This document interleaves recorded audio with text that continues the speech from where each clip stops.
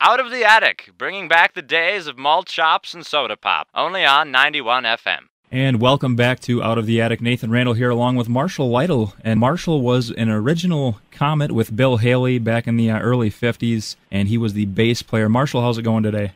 Hi, it's going really great, Nathan. I'm down here in beautiful Florida, and I enjoyed the Packers game last night. Boy, they really did uh, kick some butt, didn't they? They sure did. They uh, look like the team to beat in the NFL. Yes, indeed. Going to be Super Bowl time again. Super Bowl two was down your way a few years ago, but Yeah. now why don't we talk a little bit first about your history and how you kind of started in music? Well, my history uh, dates back to uh, the uh, very early 50s. I actually started learning to play the guitar and sing in the in the late 40s, and by the early 50s, I I had worked my way up to having my own live uh, radio show at a local radio station in Chester, Pennsylvania, just playing the guitar and singing uh, four or five songs in the morning.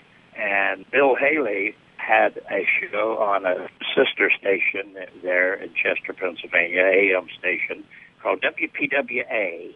And uh, he used to broadcast live every day from 12 noon till 1 o'clock in the afternoon. And one morning after my show was over, I was hanging around uh, the local radio station that I was on, and in walked Bill Haley, and uh, he said, "Hey, Marshall, we were we were friends for several years." And, uh, he said, "Hey, my bass player just quit. I want you to come and be my bass player." And I said, "Bill, you know I don't play bass." Uh, he said, "Well, I can teach you uh, the basic uh, rudiments of what I need uh, in about a half an hour. Uh, let's go out to my radio station. I've got an old bass fiddle out there, and I'll I'll, I'll give you a little lesson to see if you can do it." So uh, I said, "Heck yeah!" So we went out to his radio station. He he got this old bass fiddle out, started slapping it uh, with a shuffle beat, and showed me the the basic uh, three notes that you need in a little bass run to get started with. And I, I gave it a try, and I said, hell, I could do that. And he said, well, go buy a bass fiddle and come to work for me tonight. And I did, and that was in, uh, I think, October of 1951. And uh, my first uh, record session with Bill was in, uh, we had a record session in early 52. Recorded a song called uh, We're Gonna Rock This Joint Tonight. It was a cover of, of a rhythm and blues song, and we recorded it in our style with our instrumentation, which did not include drums and it did not include saxophone. We were a country and western band at that time in our lives, and we were known as Bill Haley and the Saddlemen. And we always brought in a guitar player. His name was Danny Cedrone, uh, and he played that great guitar solo on Rock This Joint, and he also played the same guitar solo on Rock Around the Clock.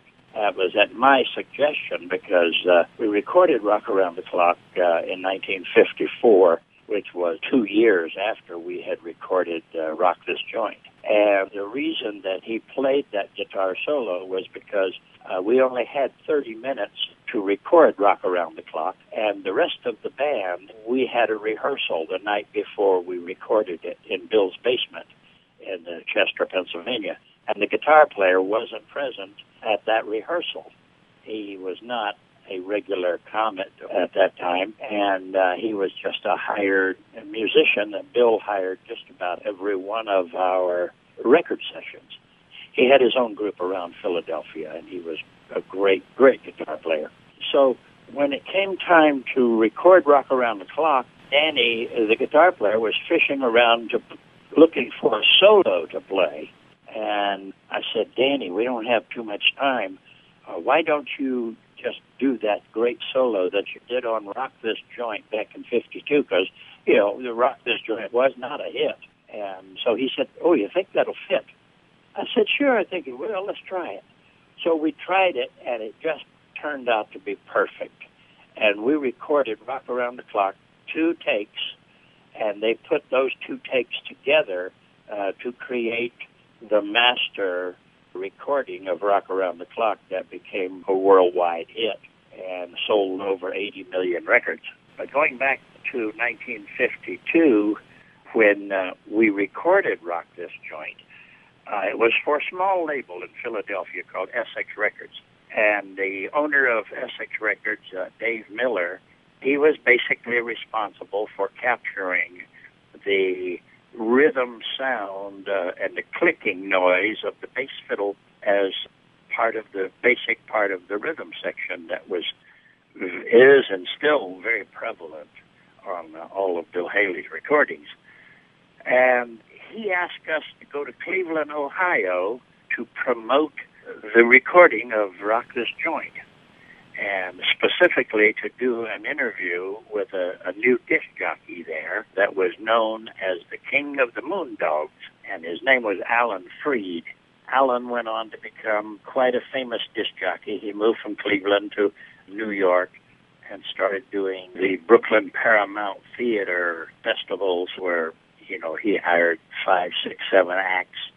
And uh, we did a uh, like an hour and a half show between movies. And we used to go to work at 11 o'clock in the morning and work till 11 o'clock at night.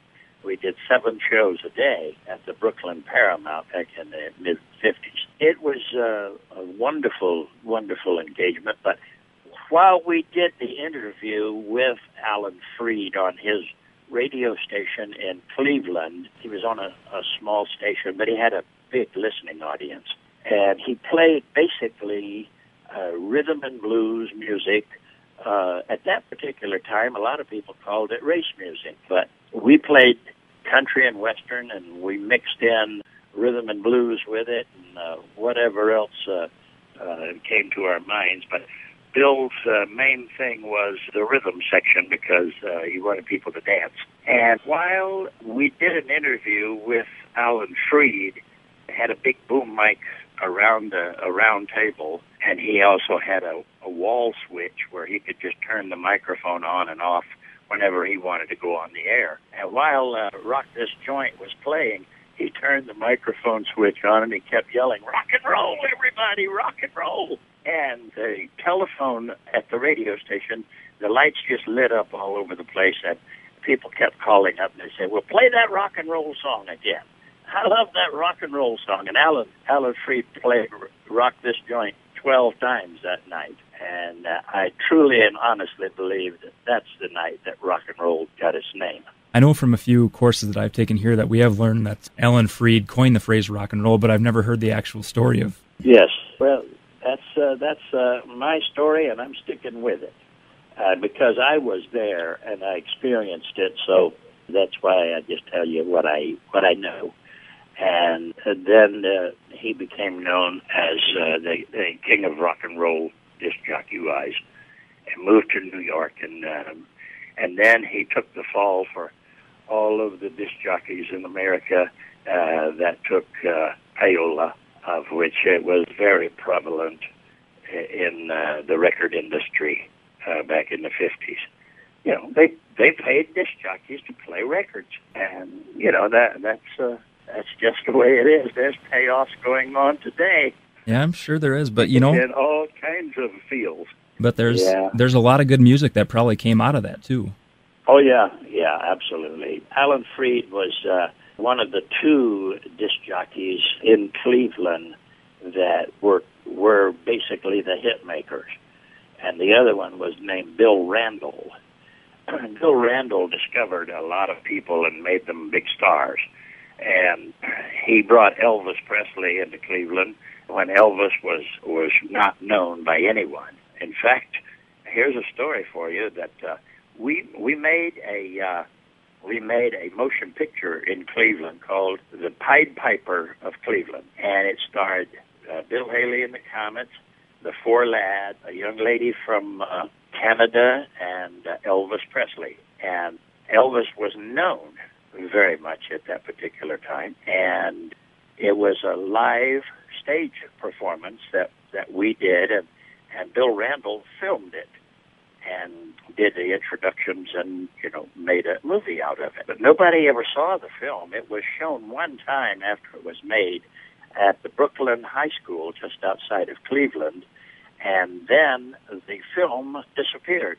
And there's a lot of rumors about what happened to it. Bill Randle has passed on. Uh, his heirs don't know what happened to it. but there was a rumor that Colonel Tom Parker had bought the film and destroyed it because Elvis wasn't the, the headliner of that film. But that's just a rumor. Nobody really knows whatever happened to it, but who knows? It might show up someday.